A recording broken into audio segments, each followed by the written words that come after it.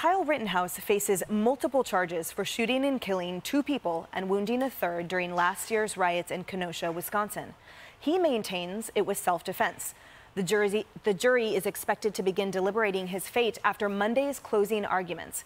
But long before the facts of the case were even known, those on the left were quick to deliver their verdict. Watch. Rittenhouse is basically what you would have had in a school shooter. Cross state lines to supposedly protect property? No, he was going out to shoot people. And it's not good that a 17 year old vigilante, arguably a domestic terrorist, picked up a rifle, drove to a different state to shoot people. The vast majority of protests in Kenosha have been peaceful, and the violence has come from an outside Trump supporter, Kyle Rittenhouse, the armed teenage vigilante. Uh, shooting wildly, running around, uh, acting like uh, rent a cop. Radicalized by Trumpism, took his AR 15 to Kenosha, and became a killer. Hmm. Meanwhile, Rittenhouse's mother slamming President Biden, accusing him of using her son to score political points. I was angry. President Biden don't know my son whatsoever, and he's not a white supremacist. He's not a racist, and he did that for the votes, and I was so angry for a while at him. And what he did to my son, he defamed him. Oh, Kayleigh. It's amazing. Look, we're very careful in this business to use the word alleged, mm-hmm. to use the word accused. That's what journalists do. You don't jump to a conclusion.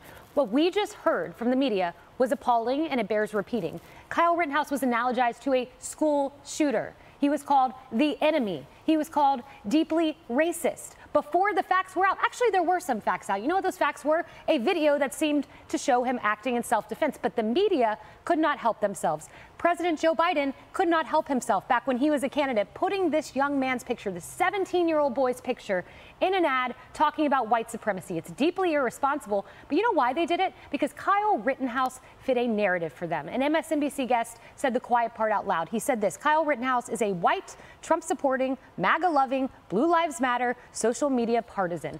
Because of that and that fact alone, the media did mm. what you just watched. And that is not journalism, what you saw. That is defamation.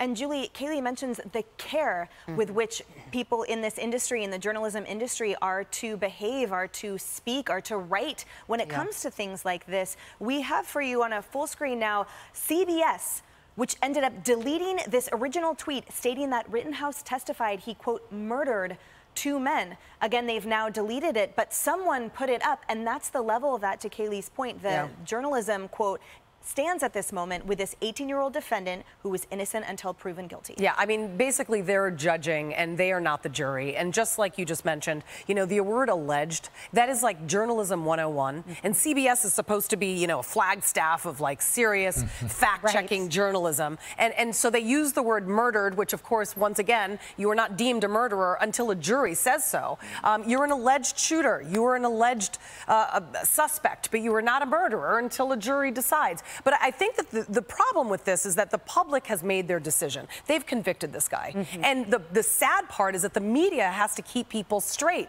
It is our job to say, look, he has not been convicted yet. While the whole public may think that this guy went there to intentionally kill two people or more, um, that's not for us to decide. That's for a jury. And the media is very irresponsible. There, there should be um, penalties. There should be punishment for whoever Absolutely. put out that mm. tweet. I'd like to hear about whoever at CBS made such a mistake getting, you know, getting having to be held responsible for that. Tomi, I love Julie's point so much, where the media is supposed to be the standard that the rest of us can look to yeah. for objectivity, right? But unfortunately, it's not. And of course, Hollywood piling on as well. We have Rosanna Arquette calling him a murderer, to Julie's point.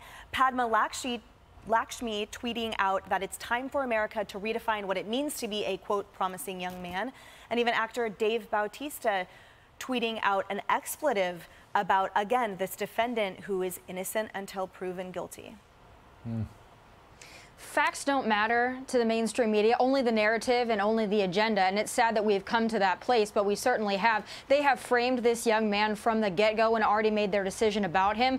But let's also reframe this. Let's imagine that Kyle Rittenhouse instead was a BLM or Antifa supporter, a member of one of those two groups, and he was being attacked by Trump supporters or being ambushed by Trump supporters. I think the media's tune would be quite different. And you use they use those terms about Trump and being a Blue Lives Matter supporter, and they use those because their Trump derangement syndrome is so deep and so thick that they can't get beyond that. And all they see is someone who is going out and questioning the narrative of these mostly peaceful BLM and Antifa riots that we saw for an entire summer long. There was no outrage about those. There was no outrage about the violence, the vandalism, the destruction, and the burning of cities that was occurring in cities for an entire summer, if not more. And I know, Emily, you well know that in Portland and Seattle, those things continued on for months after the, the George Floyd riots.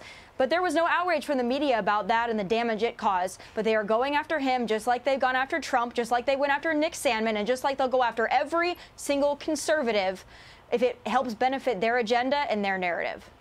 And Raymond, the tragedy of this, it can't be overstated. Two lives were lost, one life altered forever, in addition to the defendant and his family and everyone else involved. So, to the point about seeing this through a compassionate lens for what it is, instead of demonizing versus, you know, black and white, all, all of a sudden someone is automatically guilty. And people have influence. People's words have certain power, which is why we're highlighting today those that do, the influence they have on the public, on public perception of what's going on there. We're going to play for you a montage of members of the media criticizing the defendant, including the fact that he cried on the stand, showing emotionality about the, the, the again, the depths of the tragedy that this is. Watch. That acting job of the crying, I can't even look at it. The worst acting jobs I've ever seen. This is white privilege on steroids. Rittenhouse testified that after he shot all of these people, he approached the cops and told them that he'd been involved in a shooting. And the officers told him, be careful so that you don't get pepper sprayed. Raymond. Hmm. You don't know where to begin with those clips, but let's start with innocent until proven guilty. Mm. And some of my confreres in the media, I hope everybody's listening, because look, I thought everybody was opposed these days to mass incarceration of juveniles, but I guess that narrative gets thrown out when it's this boy involved. But when you burrow down and look at the facts, we have to put this media narrative in a context.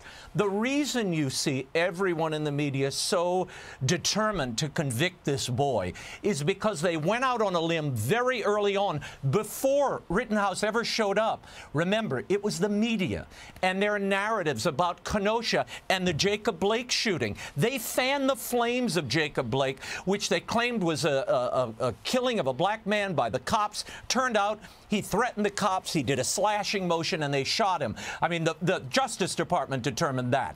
So this whole scene, the riot that Rittenhouse walked into, was in some ways fomented by, not caused by, but fomented by the media. So they're continuing this narrative of trying to convict this boy. But when you when you break through this, and Emily, you all have watched this case far closer than I, but in what I've watched and read of this prosecution, their facts are scant. They should never have brought a prosecution against this kid. I mean, it looks like it was a clear case of, of uh, self-defense.